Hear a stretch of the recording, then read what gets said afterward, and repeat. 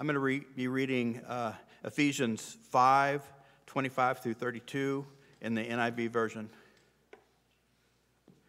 Husbands, love your wife as Christ loved the church and gave himself up for her to make her a holy cleansing, to make her holy and cleansing her by the washing with water through the word and to present her to himself as a radiant church without stain or wrinkle or any other blemish, but holy and blameless.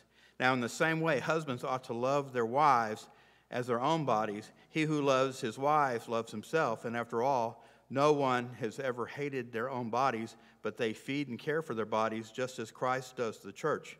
For we are members of his body. For this reason, a man will leave his husband, excuse me, leave his father and mother, and be united to his wife, and the two will become flesh. This is a profound mystery, but I am talking about Christ and the church.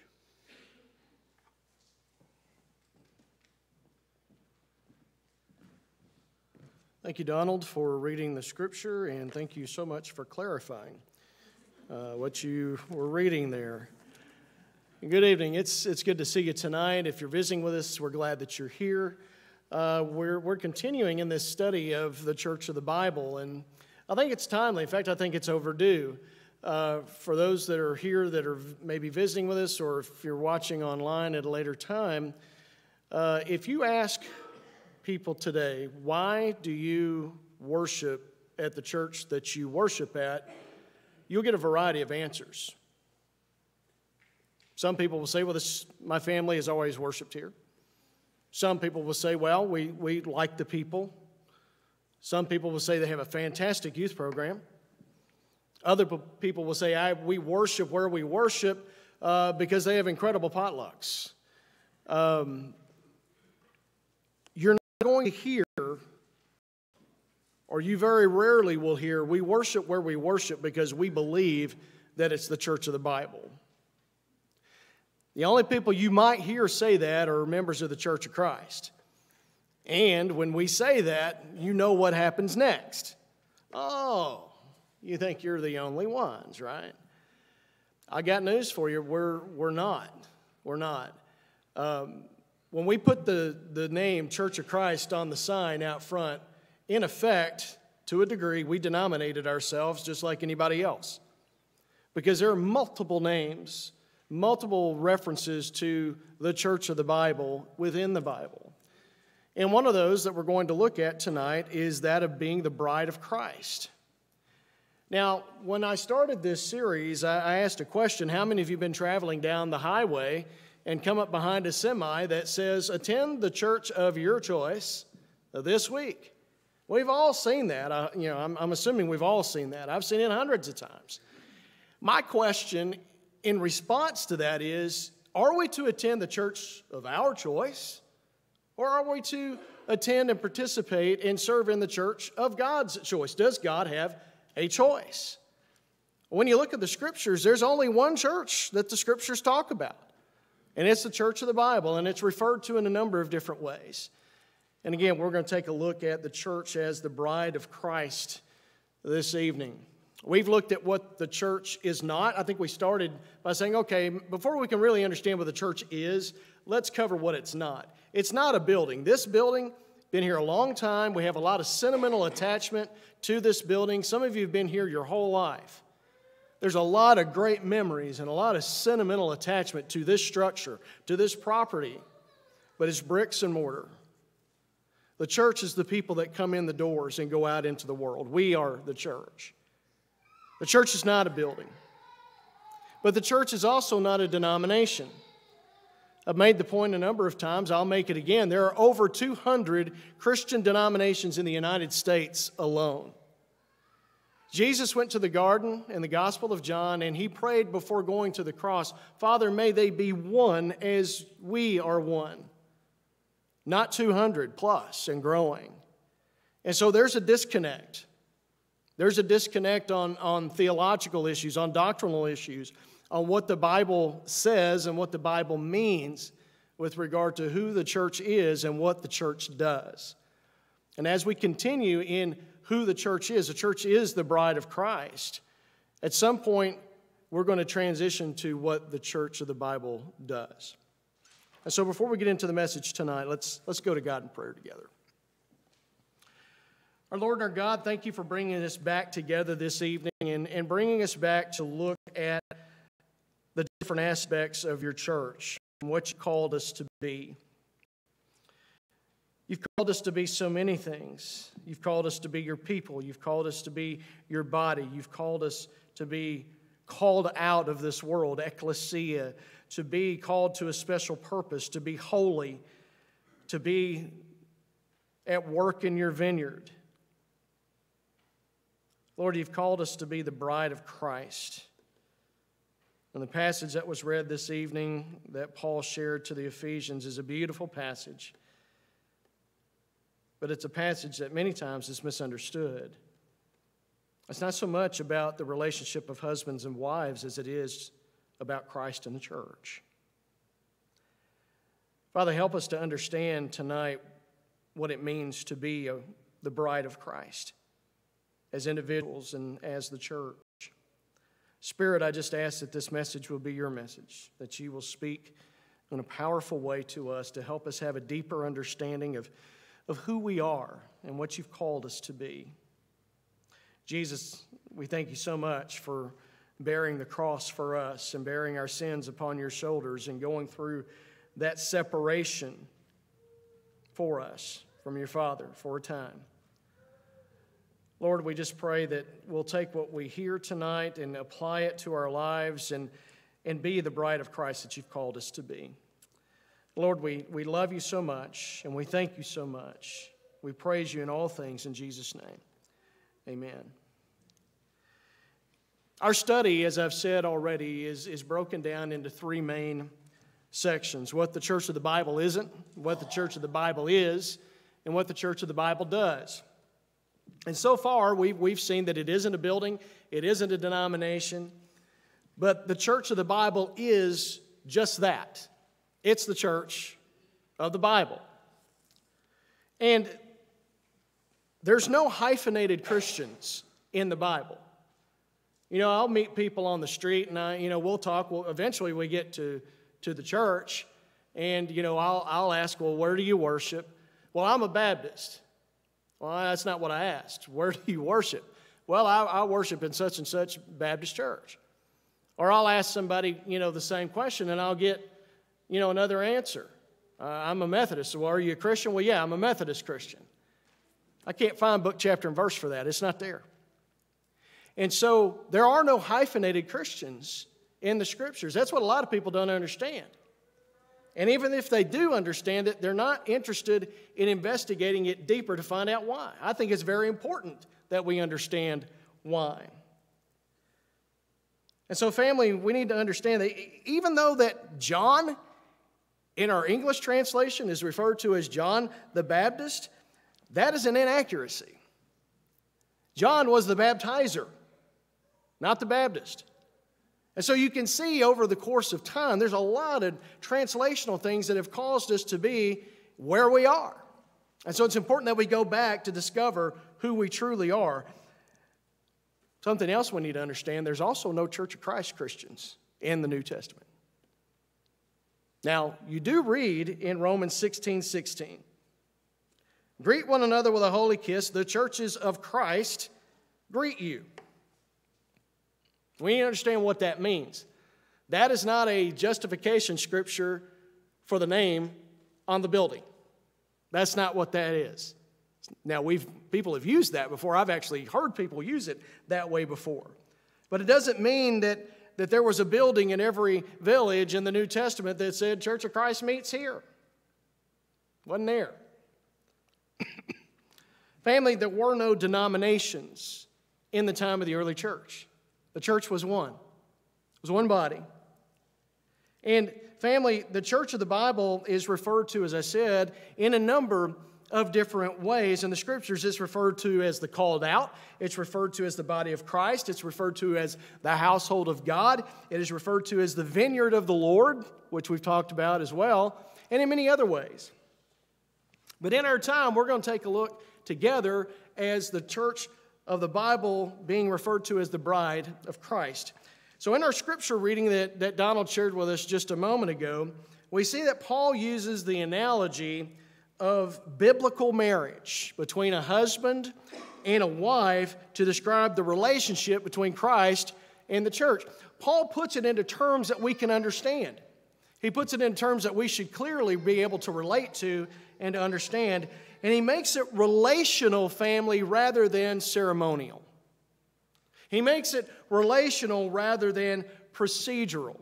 You got to remember, the church of the, of the New Testament, the, the, the church of the Bible, is made up of two very distinct groups Jews and Gentiles. And to the Jewish Christians in his audience, they would see a very stark difference between what Paul describes here in the Ephesian letter and the procedural and ceremonial experiences of the temple, while still maintaining singular devotion to the Lord.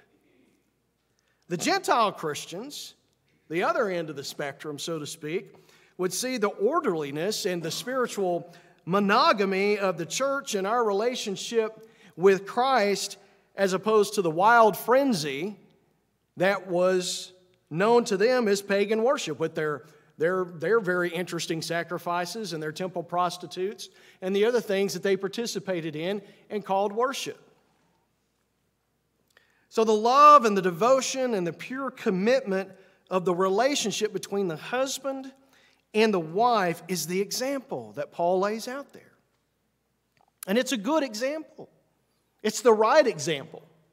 This is the example that he lays out there of what the relationship of the church or the Bible is to be to Christ, what your relationship and my relationship is to be to Jesus. And so, when does that happen? A lot of people are not clear about the answer to that question. When does that happen? When do we enter into that relationship with Christ? At what point are we betrothed to Jesus, waiting for his return to claim us, both individually and collectively, as the church, as his bride? Now, Paul lays this out very beautifully in Romans chapter 7, verses 1 to 6. Listen to what he says in verses 1 to 3. He says, Or do you not know, brethren, for I am speaking to those who know the law, that the law has jurisdiction over a person as long as he lives. For the married woman is bound by law to her husband while he is living, but if her husband dies, she is released from the law concerning the husband. So then, if while her husband is living she is joined to another man, she shall be called an adulteress. But if her husband dies, she is free from the law, so that she is not an adulteress, though she is joined to another man. Now, take a good look at what Paul says there to the church in Rome. The word that is used in the original language for joined to another man is the word ginomai, and it means married. It means to be married. Now look at what he goes on to say in verses 4 to 6. He says, Therefore, my brethren, you also were made to die to the law through the body of Christ so that you might be joined to another, to him who was raised from the dead, in order that we might bear fruit for God. For while we were in the flesh, the sinful passions which were aroused by the law were at work in the members of our body to bear fruit for death. But now we've been released from the law, having died to that by which we were bound, so that we serve in newness of the Spirit and not in oldness of the letter. Look at what Paul is saying there. He says, We were made to die to the law through the body of Christ. And this echoes what he says to the Colossians in chapter 2, verses 13 and 14, where he writes, When you were dead in your transgressions and the uncircumcision of your flesh, he made you alive together with him, having forgiven us all our transgressions, having canceled out the certificate of death, which is the law, consisting of decrees against us, which was hostile to us, and he has taken it out of the way, having nailed it to the cross. Family, the joining of Jesus and with Jesus as the bride of Christ for you and I came at our baptism. It came at that time when we surrendered our life to Jesus, we confessed Him as Lord, we repented of our sins, and we entered into baptism where our sins were washed away. That family is when we became a part of the bride of Christ, when we were baptized into Christ because of what He did at the cross. That's when that happened. Now, we understand that, but the majority of the Christian world doesn't see it that way. They don't go to that extent. They talk about preaching the gospel, but they really don't know what the gospel is. The gospel is the death, burial, and resurrection of Christ. And you and I are commanded to obey that. And we do that, we obey the gospel of Christ when we're baptized into Christ. There's a disconnect out there in the world when it comes to that. Again, look what Paul says in Romans chapter 7 verse 4. He says, Therefore, my brethren, you also were made to die to the law through the body of Christ, so that you might be joined, married to another, to him who was raised from the dead, in order that we might bear fruit to God. Look at what he says right there. Why have you and I been joined to Jesus? Why are you and I, the bride of Christ, connected to Christ? For what purpose? Look at what he says he says that we might bear fruit for God. That's important for you and I to remember in our identity as Christians. Family, that's the point where the lost sinner dies to the world. Look at what he's saying there. And is raised up and joined together with Jesus as the bride of Christ in the church of the Bible. So, as the bride of Christ, as the church of the Bible, we've been called to that role.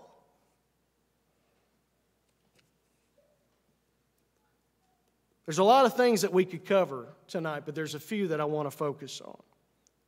First, as the bride of Christ, the church of the Bible has been called to be submissive. Family, the word submissive is a hard one for people to deal with. That's a hard word for people to deal with in the culture in which we live. And here's the thing the reality is that nobody really wants to be submissive, do they? Nobody wants to volunteer for that. Nobody wants to be submissive. It's, it's, a, it's a term, it's a word that we really struggle with in our culture. But this is exactly what Paul tells the church in our scripture reading this evening to do. Look at verse 24. He says, But as the church is subject to Christ or submissive to Christ, so also the wives ought to be submissive to their husbands in everything. Now, again, remember what Paul is doing here. He's not primarily talking about husbands and wives, he's talking about the church in Christ. And so look at what he says there. Look at what he says. As the church is subject to Christ. This is where Paul begins. This is where he starts. This is the example. This is the model. This is the aspiration of your relationship and my relationship with Jesus. And even though the subject, again, is, is Christian marriage and the relationship between husbands and wives, that's not what the big picture is about here in this passage. The example that Paul uses is the relationship between Christ and the church, between Jesus and his bride between Jesus and you and me. Family, the word that's translated into our English Bible there as subject, or your translation may read submissive to Christ, is the word hupotasso in the Greek. And it's a compound word that's made up of two parts. The first part, hupo, means to be under, to be underneath, or to be below. The second part is tasso, and it is a prolonged version of the primary verb. It's like a it's like an amplifier of the first part. It's a prolonged version of the primary verb, and it means to arrange in an orderly manner, to assign to a certain position or lot, or to ordain or to set. Now, when you put that together, and you get subject or submissive in our English translation, when you put it all together, what does that mean?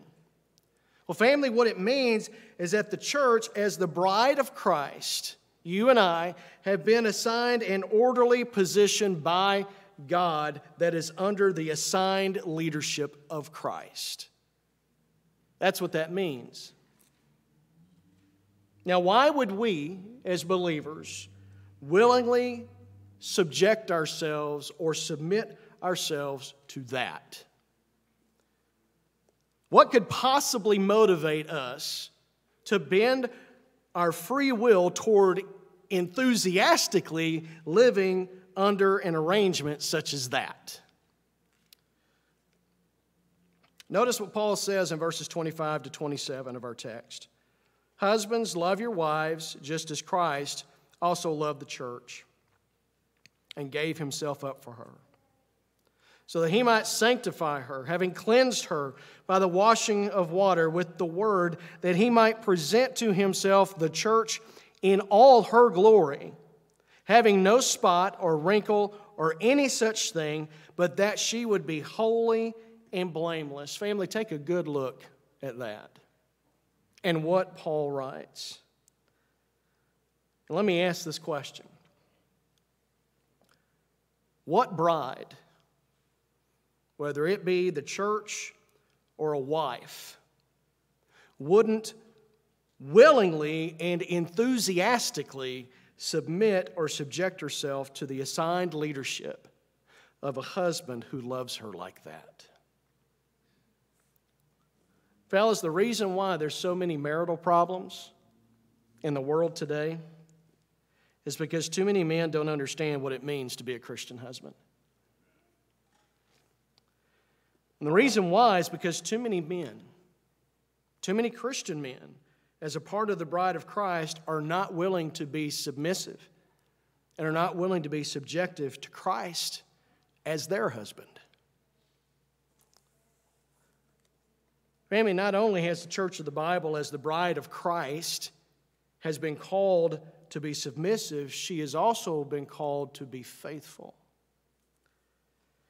In Revelation chapter 2, Jesus instructs John in the vision to write to the church in Smyrna regarding the trials and the tribulations that he says is coming.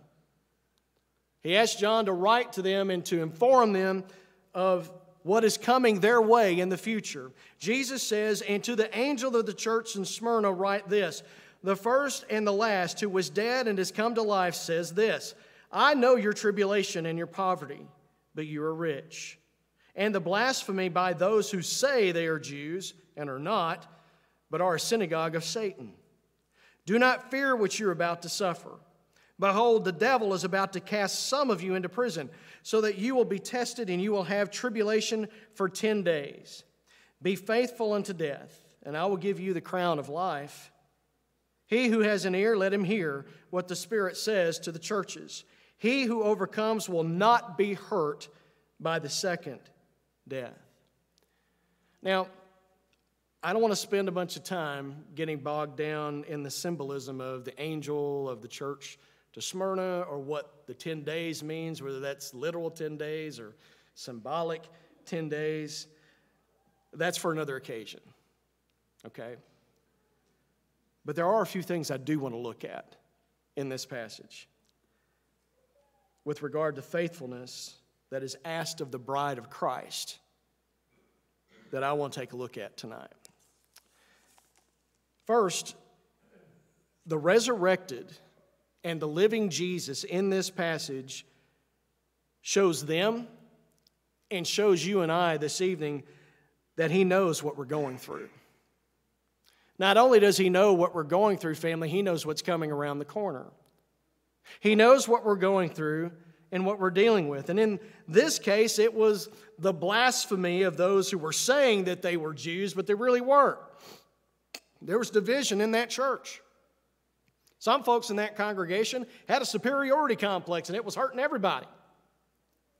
He also clearly points out the fact that the source of their tribulation was Satan. Family, let me tell you something that has never changed. It has never changed and it never will change. Doesn't matter what the politics is that's going on. Doesn't matter what the racial situation is that's going on. It doesn't matter what all the confusion is. Satan is always the enemy. These people claiming to be Jews in this passage and putting everyone through so much misery were tools. They were tools in Satan's hand, family, just like people are that give us grief today. And family, the real enemy of the church is Satan. He always has been, he always will be. Second, Jesus tells us do not fear. Do not fear. You know, that's important for you and me not to forget. Because there's a lot of scary things that go on in our life. When you're sitting in the doctor's office and you're waiting for the test to come back, Jesus says, Do not fear. Well, that's a little easier said than done, isn't it? When your child is late coming home and you don't know where they are and they're not answering their phone, Jesus says, Do not fear. Well, that ain't always easy, is it? But Jesus always proves to be trustworthy. Jesus says, Do not fear. We need to never forget that. Look at what he says in verse 10. He says, Do not fear for what you are about to suffer. Jesus tells them that suffering is coming. It's not maybe, it's not possibly. He says it's coming. Do not fear what you are about to suffer. Family, he's told us the same thing. He's told us the same thing. We have challenges that are in front of us. We don't know what they are. But regardless of what they are, Jesus says to you, and He says to me, do not fear what you are about to suffer. In the second part of verse 10, Jesus says that the devil is about to cast some of you into prison so that you will be tested. Man, how would you feel when that letter was read at your congregation in Smyrna? Some of y'all are going to prison so that Satan can test you. My question would be who? You got a list there? It's not important. Because what did Jesus say before that? He said, Do not fear what is coming your way. Some of y'all are going to prison. That word tested there in that passage is the word peirazo. And at its root, it means to pierce. Now, with that understanding, look at what Jesus says. Some of you are going to be pierced. I don't know about you, but I've been pierced before. I've stepped on nails. I've shot myself in the hand with a nail gun. Some of y'all have done that too. There is no easy way to suffer a piercing. Of course, unless you're, you know, female and you get the ice cube on your ear and, you know, do all that. But I'm talking about real piercing. Jesus is saying it's going to be painful, it's going to hurt. Jesus tells us that as believers, as the church of the Bible, as the bride of Christ, we will experience painful trials. If 2021 had been easy for you, I'd like to know why and how. It's been hard. And there's no guarantee that it's going to get easier. We have our own painful trials ahead of us. And as the bride of Christ, we're going to experience painful trials. We're going to experience testing. We're going to experience scrutiny that will pierce us to our soul. That's what Jesus is saying here. And Jesus tells them this is coming. And if we're truly his followers, family, then we can expect the same warning. In fact, we should take the same warning. But we also can expect and we also can depend on the same encouragement from Him. Do not fear.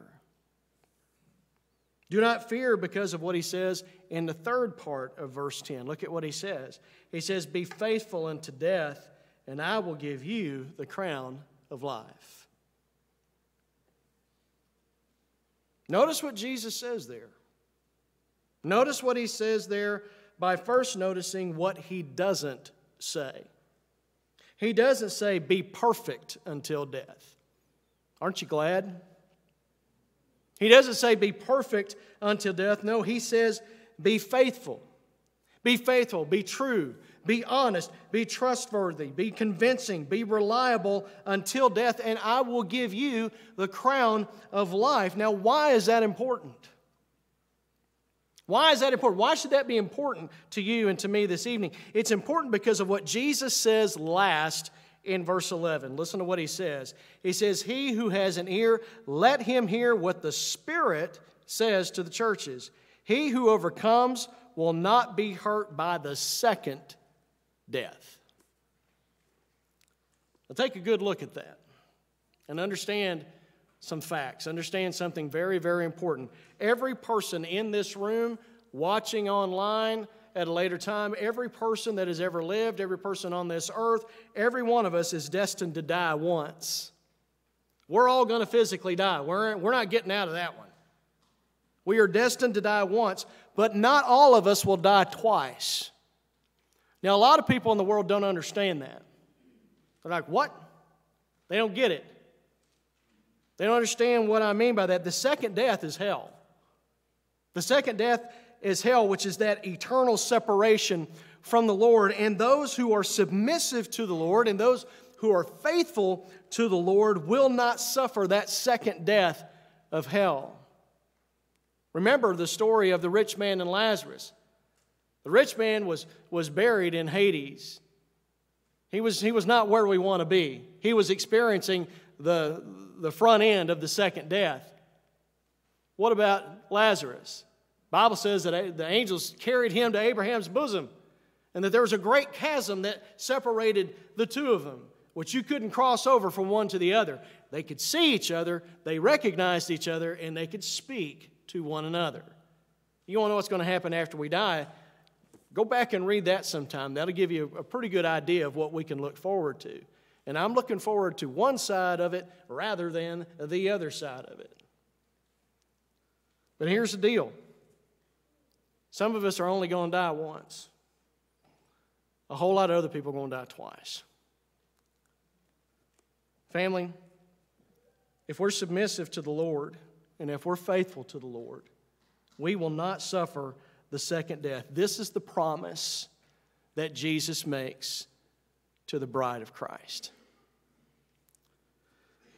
Ultimately, the church of the Bible, the bride of Christ, bride of Christ is to be fruitful. And that's important that we understand because I think that's something that a lot of Christian people have forgotten. The church, the bride of Christ, is to be fruitful. You see, the church was purchased by Christ. It was purchased by the blood of Christ to grow. And we see this clearly in the New Testament. We've also seen it very clearly throughout history. But as I pointed out a few weeks ago, and you may remember this, the church has become stagnant and has ceased to grow. Back in the 40s, the 50s, and the 60s, the church was planting churches by the hundreds by the hundreds in those decades. That's not happening now. In fact, right now, six congregations of the churches of Christ close their doors every year, and those are pre COVID numbers. And again, I'll ask you take a look around. What this room look like 20 years ago? I realize COVID is going on, but go back and think about pre COVID. What did this auditorium look like in 1985, 1990? 95. It's changed, hadn't it?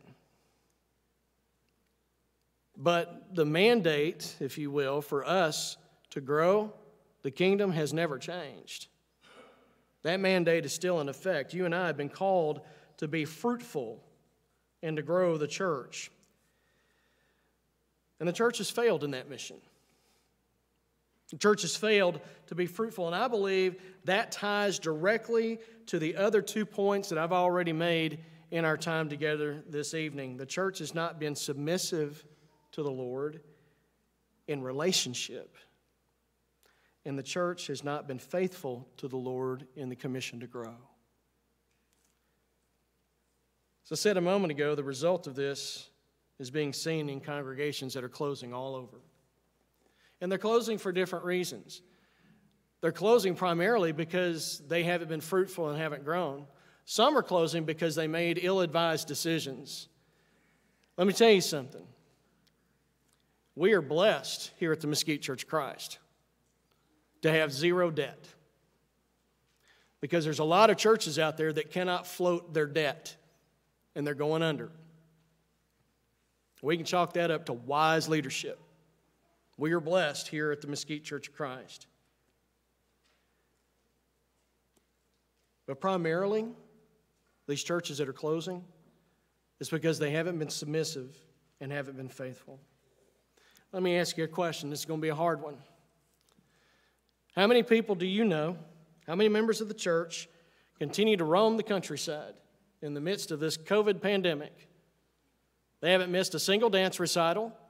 They haven't missed a single soccer or basketball game. They haven't missed a barbecue joint this side of the Mississippi. They haven't missed a sale at Home Depot or Walmart, but they haven't darkened the door of this building and assembled with the body of Christ since the pandemic began. Do you know anybody like that? I do. We all do.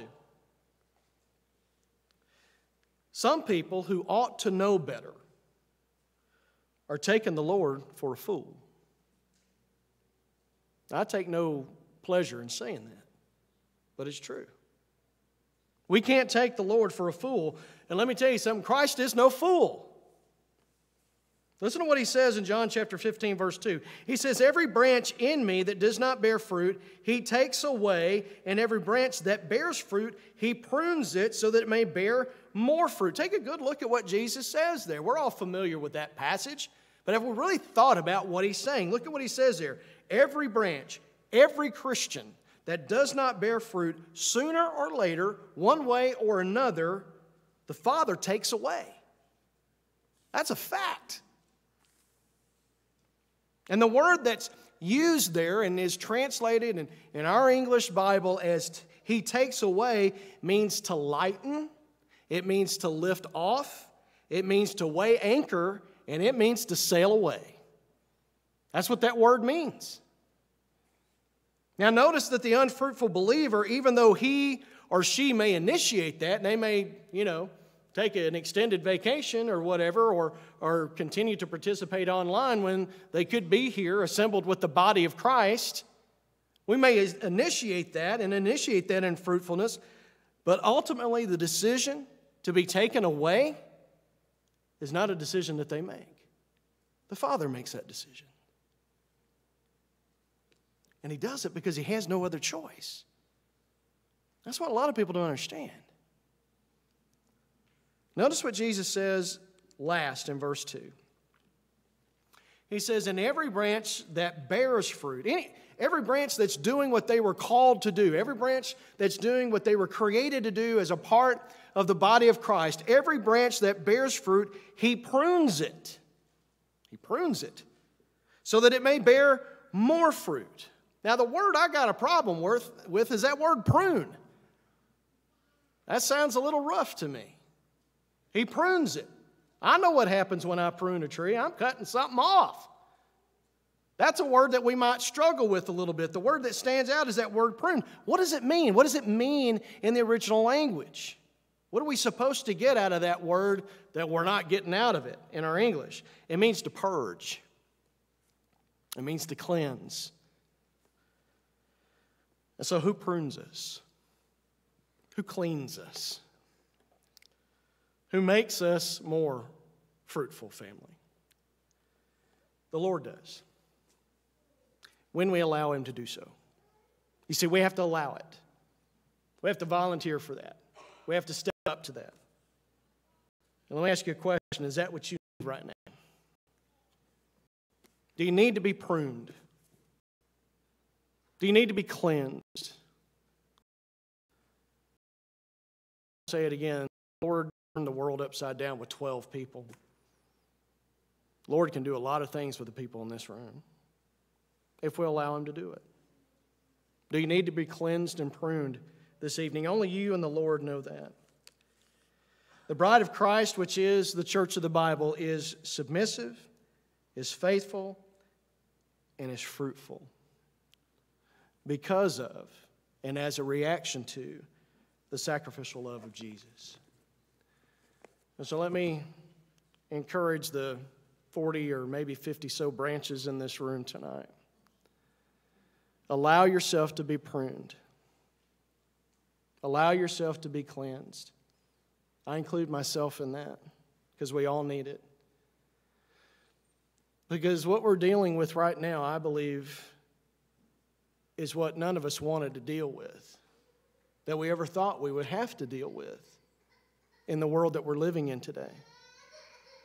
We're living in a world that is this close. We heard it our whole life. We're one generation away from what? Apostasy. None of us ever thought it would happen in our lifetime.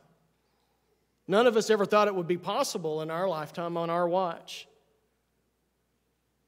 But it is possible. And if we do nothing, it's probable. So I just ask that you would examine your own life and your own commitment to the Lord and just ask yourself do I need to be pruned? Do I need prayer to be a better Christian? Do I need to repent of some things and share some things that I'm struggling with with my family? Because I'm telling you right now, you will never find a more loving group of people to bear your burdens and bare your soul with than the people in this room right now. And if that's what you need to do, let us wrap our arms around you. Let us pray with you and pray over you. If you need to rededicate your life to Christ, now's a good time to do that. Some people have asked me, can you be rebaptized? My answer is no. You really, there's no real such thing as rebaptism. You're baptized once for real. There's a lot of people that get wet multiple times. But let me ask you this if you're not sure that you're going to heaven, if something happened to you right now, you might want to think about it.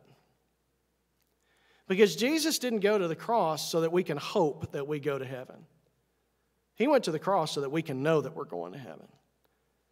And it's not arrogance to feel that way, it's blessed assurance because I trust Jesus. I trust what Jesus did. And so therefore I believe what John wrote in 1 John 5 13. Remember what he said? I write these things to you who believe in the name of the Son of God that you may know that you have everlasting life. I know I have it. I know I'm going to heaven because of what Jesus did for me. And you can know because of what he's done for you. So that's the message tonight. Be the bride of Christ, be the light of the world, be the salt of the earth this week. And if you have a need of any kind, respond while we stand and sing.